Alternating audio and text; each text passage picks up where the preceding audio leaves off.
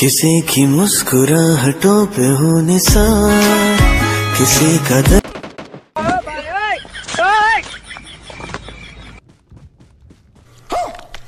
कैसे कैसे लोग रहते हैं यार यहाँ पर? चलो तुमको पागल कुत्ते का गाड़ी उठा के ले जाएगा, बता रहे हैं हम।